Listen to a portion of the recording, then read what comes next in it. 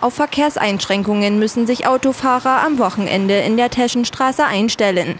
Wie das Bürgeramt informiert, ist sie wegen der Sanierung von Straßenschäden am Samstag und Sonntag halbseitig gesperrt.